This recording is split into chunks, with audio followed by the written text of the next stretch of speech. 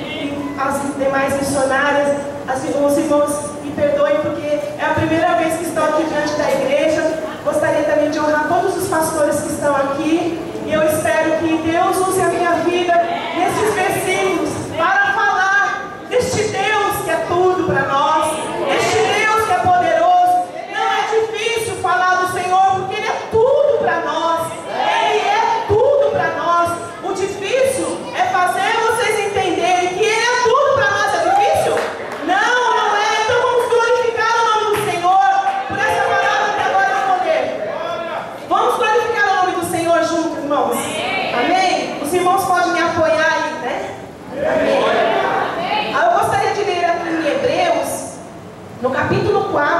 Versículo 12, apenas um versículo, porque eu não sou muito boa assim para pregar, eu gosto muito de orar, de interceder, de ficar nos bastidores, de fazer trabalho de formiguinha, porque eu sei que é muito difícil de estar aqui, é uma responsabilidade muito grande, mas eu sei que o Senhor, Ele vai fazer a palavra dele nesta noite ser plena no- nos corações aqui e todos os irmãos vão sentir a presença de Deus.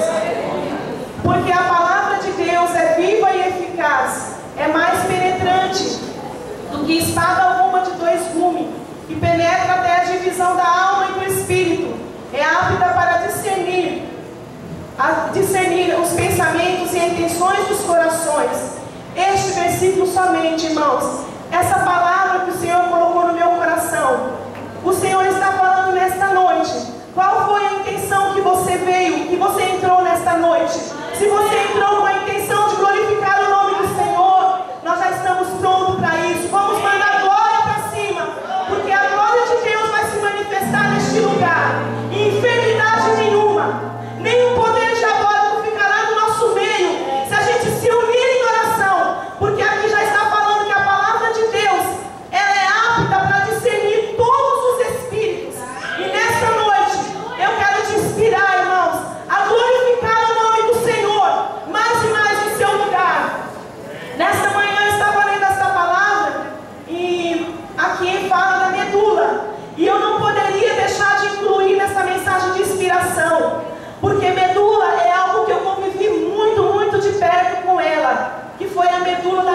da minha filha. Em 2006 a minha filha foi acometida de leucemia linfóide aguda.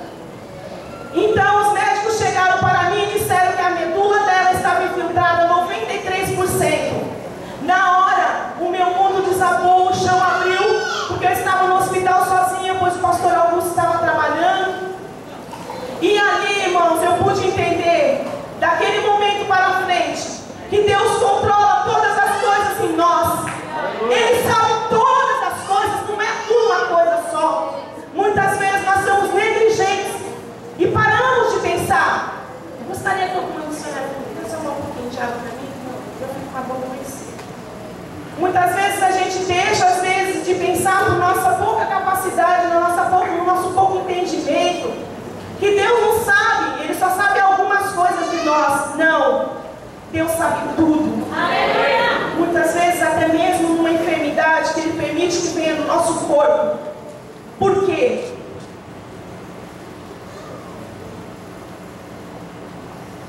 Porque o Senhor foi Ele que nos criou, foi Ele que nos fez, Ele nos formou. A palavra de Deus diz que dia a dia os nossos ossos foram formados. E o Senhor conhece cada cantinho do nosso, do nosso corpo. E Ele está dizendo aqui que a palavra dele é penetrante e ela atravessa a divisão da alma, é apta para discernir todos os espíritos. Então, assim diz o Senhor nesta noite, que possamos nos entregar de corpo e alma mais e mais na presença de Deus, porque Ele te conhece, Ele sabe. Muitas vezes a gente não sabe que vai ter uma dor de barriga, ou uma dor de cabeça, ou um câncer, qualquer tipo de enfermidade, mas o Senhor conhece. Deus sabe todas as coisas, Ele vê tudo. Então, nesta noite, você entrou aqui, está pensando que o Senhor não, está te vendo, mas Ele está te vendo sim. Foi o Senhor, nesta noite, que já começou um trabalhar novo na tua vida. Basta somente você crer e se entregar de corpo e alma e deixe que a palavra do Senhor entre na tua vida como uma espada de dois gumes. Ela vai atravessar a divisão da tua alma. Ela, a medula, irmãos, aqui a palavra de Deus é clara, atravessa a medula. É muito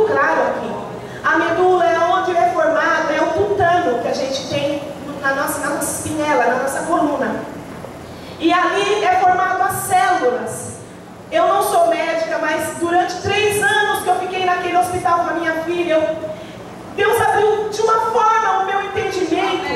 Ali está a Louise, né? Ela, muita, ela muitas vezes eu falo para ela, filha, você tem que ir lá no altar, contar o seu testemunho, porque muitas pessoas vão ser edificadas.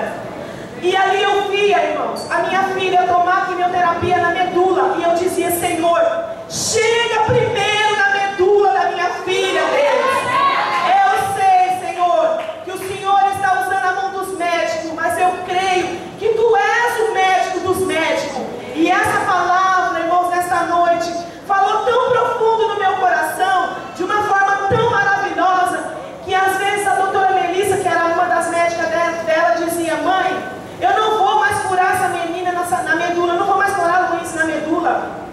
Porque eu estou cansada de, de dar quimioterapia, tentar fazer com que a quimio e quimio voltava para trás. Porque tinha que tirar o líquido da medula, misturar a quimio e depois voltava a medula de novo. Então é um tratamento muito difícil. E eu ficava olhando aquilo e eu muitas vezes não entendia, mas o Senhor sabia que um dia eu estaria aqui nesse altar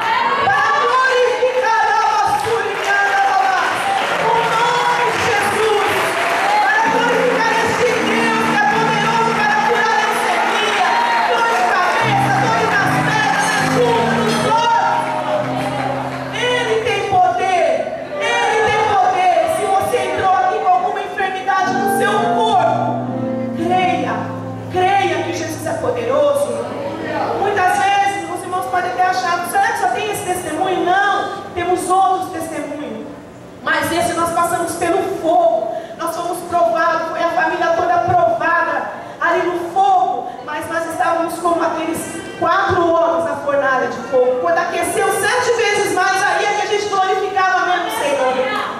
Quando os médicos tiraram todas as chances da minha filha sobreviver e disseram que não tinha mais jeito, que a medula dela já estava toda infiltrada, Deus chegou. Deus chegou, irmãos.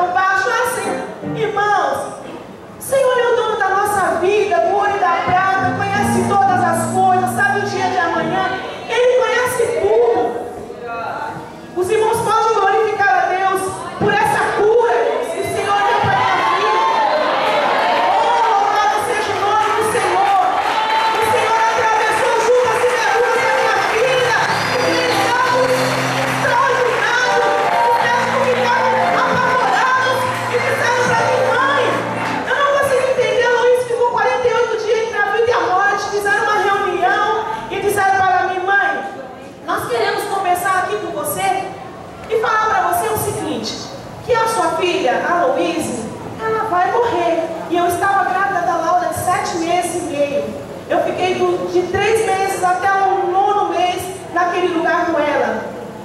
E aí naquele hospital eu disse para todos os médicos, irmãos, eu falei, essa é a palavra que vocês têm para mim? É a sentença de morte que vocês têm para dar para mim em relação à minha filha? Todos os médicos foram unânimes, disseram sim. Porque o intestino da sua